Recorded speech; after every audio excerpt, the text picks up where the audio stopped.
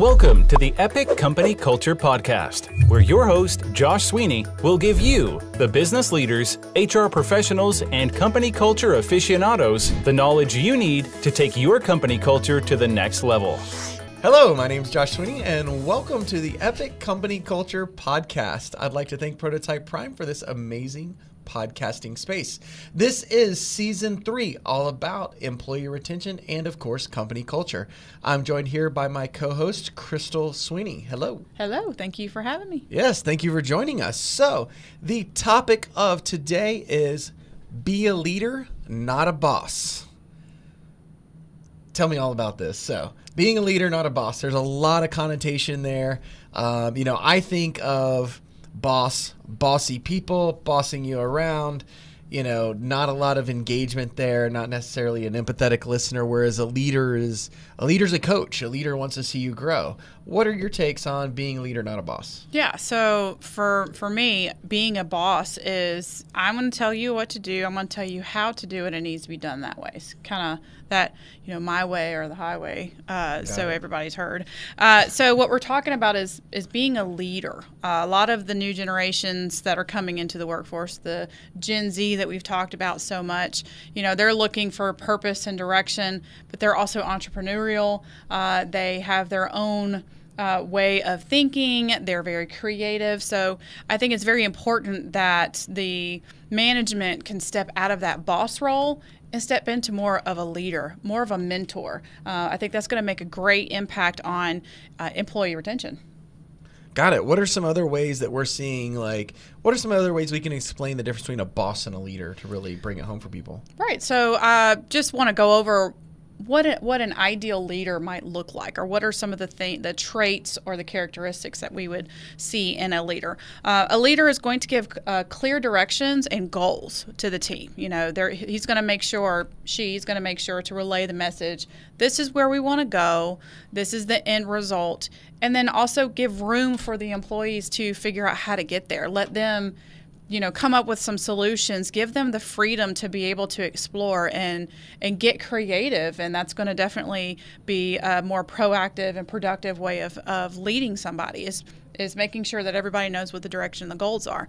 Uh, somebody needs to be able to a leader needs to be able to handle challenges. You know it's it's not um, you know when a challenge arises it's not to scold people to uh, lose your temper. You know it's, it's somebody who can manage uh, a challenge and to be able to relay what needs to happen to the employees i think that's that's huge. Because a lot of people will quit a manager. They won't quit a company but they will quit a manager. That's one of the top re- reasons why you know people will quit is you know their manage the management style doesn't align with you know with the employee and how how they feel about their work environment.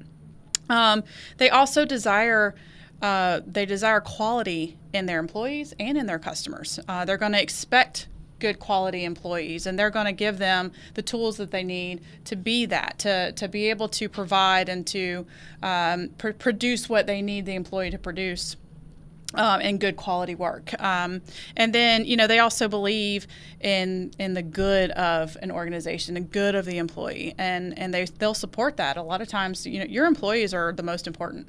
Uh, you know, everybody wants to please the customers, but your employees are with you and they're they, are they are stuck with you. Customers will come and go. So, you know, it's very important that you keep them happy. Um, and they also inspire confidence you want uh, you want those problem solvers to feel confident in what they're doing in their research and their solutions and and that's that's the way to stay ahead of the curve you know is is is to give them that room to be able to grow and to be able to suggest ways to make everything better yeah, definitely. I know. I can't remember the book I read, but one of the concepts they talked about about kind of a leader and a boss and different strategies was um, this person who is the expert with a thousand helpers or a true team. So, what are you building? You know, the expert with a thousand helpers has all the answers, micromanages, delegates all the tasks. They're at the core of everything. But you take that expert out, and, and the, the whole house comes tumbling down, right? Um, so, if you have a team where you're setting the strategic direction as a leader, letting them go learn lessons and overcome those challenges on their own, then you're leading them in a direction where you know if that expert's not there or you're the leader and you're not there one day that everything still continues to move forward. And that's a that's a pretty big challenge for some people I know. Oh, absolutely. Uh, I'd like to think that you know a lot of people look at the employees as the support staff, right? Uh, but I think it needs to be reversed. I mean, I think I think leadership needs to be the support staff to the employees. You know, they need to Yeah. be there to support them in what they're doing because that's where the future is in the company. So those are the future leaders that are going to take over. So, you know, I think I think that that's the way that it needs to be looked at. You know, it's supporting each other in that that collaborative space. Um, you know, a, another thing I think that would make a great leader is an open door policy. And I know a lot of leaders say that, or bosses, you know, say they have an open door policy, but truly make it an open door. Truly make sure that your employees know that, hey, you can come and talk to me at any point in time about anything if you, you know, if you need to. Uh, so that open door policy absolutely needs to be that. Um, and then also, it is important that you have a steady and structured schedule. You know, if you are a leader within the organization and you're out networking, um, you're in the office some, you're out of the office some, it's important that your employees know when you're going to be there. So they know how to handle if a problem arises. Do I can I wait until they show up? Do I need to take care of the problem? You know, I've got something that I have an impediment that I need to to talk you know talk with this person when are they going to be in the office and make sure that you have very clear you've given clear expectations on when when you'll be available Yeah, I want to step back to the you know the open door policy. That's one I think we've mentioned before around you know there is an open door policy in that when you come in and you say something i'm going to question it or i'm going to react negatively but my door's open.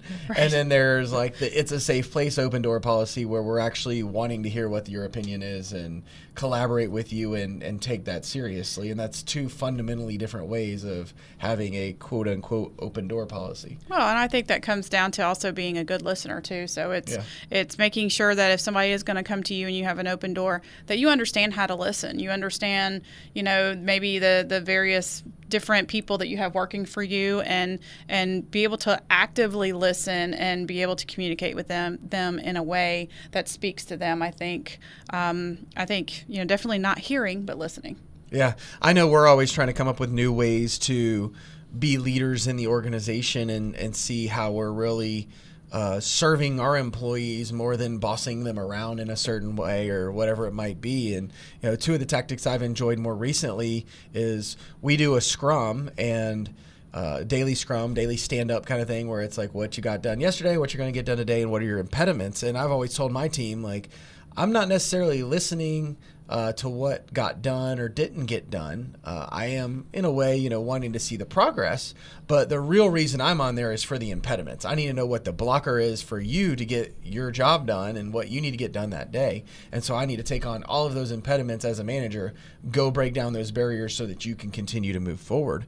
Um, another technique that I learned just recently was. Um, to speak last. So when we have meetings, a lot of times, you know, I kind of had an idea of what I wanted to happen and I would lead the meeting and that's just generally my personality is get in there and take charge of that meeting and make it happen and walk through it and I was kind of bouncing ideas off of other people whereas I think a lot of the education really comes from speaking last. I go in and I say, "Hey, who's going to stand up and whiteboard and I'm going to sit in the chair over here instead of whiteboard and I'm going to listen to what you guys come up with and I'm going to let you work through it and then I'll speak last even though sometimes I feel like I know the answer sometimes I don't. Sometimes it's a great collaborative session. Um, you know it works out in all kinds of ways but at the end uh, I'm able to throw it in, and, and I think it's a lot better when people come up with the, their own ideas, and you're able, as a manager and as a leader, to reinforce and say, yeah, that's definitely on the right track, or you know, it's a coaching moment. Let's think about this direction or that direction. What are the what are the other impacts of that? Um, so speaking last is a big part of it.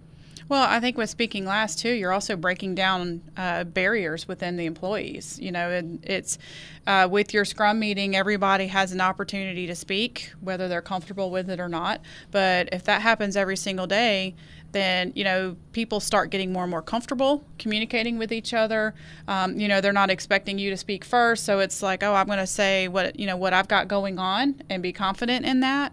And I think that's very important in building that camaraderie and and also maintaining your employees. Yeah, there's definitely people on the team that we know are always more introverted and some that are more extroverted and you're we're giving each one of them the the same amount of time basically to to share what's going on and engage in the conversation instead of you know sitting in the back and being able to just be quiet and blend in. Yeah, absolutely. Awesome. So, what we would like for you to do is think about how you can be a leader and not a boss. What are the ways that that leadership, those intangibles around how you lead, impact your employees and lead them to success and increase the retention rate, the employee retention rate in your organization? Thank you. Thank you for tuning in to today's episode of the Epic Company Culture Podcast with Josh Sweeney. If you enjoyed this content, please subscribe on iTunes, SoundCloud, or Stitcher. For additional content and transcripts, visit epicculture.co. If you have questions or topics you would like us to address or expand on, tweet us at Epic Culture One or email at podcast at epicculture.co.